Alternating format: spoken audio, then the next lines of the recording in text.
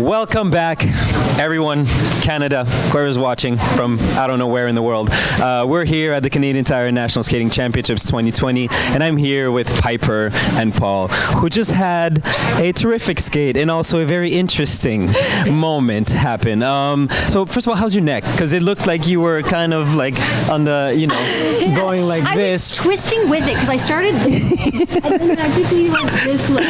So, and then stuck. No, I think I just let my body go with it. Yeah. Okay. Next Okay. bad. So you went loose. You let loose. You know, you're just like, I'm here. Come on, Paul, I'm stuck. it. yeah. so clearly that hasn't happened. Uh, you know, Never. and the costumes worked out all season. So obviously uh, a shock. Yes. So talk to me about what, what what's happening in your mind at that point. What's happening in your mind at that point first? Uh, crap, crap, crap, crap, crap, crap. Like, there's probably more swear words to that, but crap at that moment. And then I'm just kind of like talking to Paul, like, Paul, do we stop? What do we do? And he's like, he's just keep going, keep going, keep going. And I'm like, oh, like it's literally probably mumbles, like probably, like it looks probably like in a cartoon when there's like things Right. blowing up in your brain.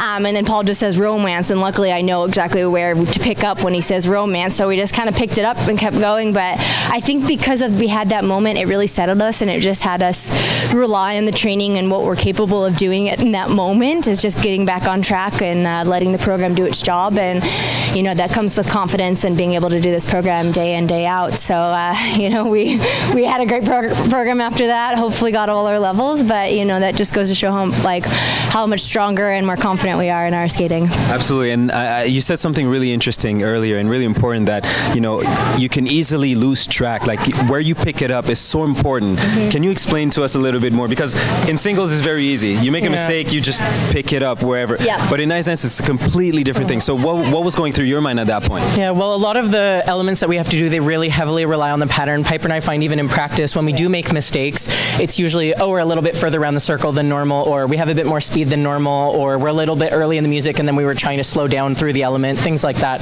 So for us, having the right timing and being exactly on the right spot on the ice, on the right circle, especially in the short dance where the pattern is very restricted, is very important. So not only do we have to figure out where can we pick the dance back up with the timing, but also are we going to be exactly in the right spot that it won't sort of derail the rest of the program and the rest of the elements. So uh, fortunately for us, our our rhythm dance starts with a very long transition, so it didn't we didn't miss any elements. We had a little bit of time to re-get settled and skate before the twizzles, um, so that did play in our favor today. Um, but I think at the same time it is really crucial, and I think we've had enough experience with things not working out in practice in both programs that we sort of know where we can pick things back up, where it's comfortable, and where um, it'll set us up well for success. I mean that's that's so crucial because Yeah. that allowed you, and that's why I don't want to linger too much on this uh, this thing Yeah. because you guys had such an incredible program. Like, put that aside, it seems like you guys every time you stepped out this season, you were just getting stronger and stronger and stronger and more confident and uh, c- clearer about what you guys want to do. So. Um, was that the goal this year? Just first of all, I mean, to, to, to keep progressing every time, but to kind of get to a point where things are just it seem so easy for you guys and so in sync with the music. Yeah, and like we said, we've every every competition that we do gets us closer and closer to our goal of being on the Olympic podium, right, in two years, and again closer to the world podium, which is in a couple months.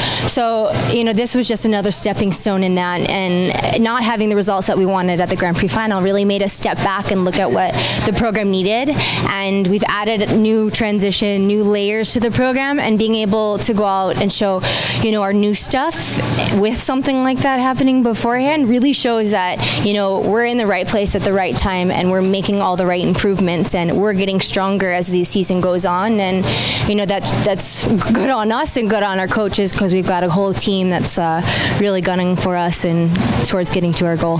Absolutely. I think uh, you've shown that you guys are here uh, not just to win, but you guys are here to battle with the top guys at the world, um, at Worlds, and uh, we're so excited for you guys. And uh, good luck tomorrow.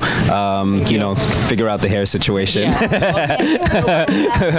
shave it. Just I'll give you I'll give you my buzzer. You can shave it, and everything's gonna be fine. Um, but anyways, Canada's behind you. We're all behind you, and uh, we're excited to see what you guys have to show us uh, tomorrow.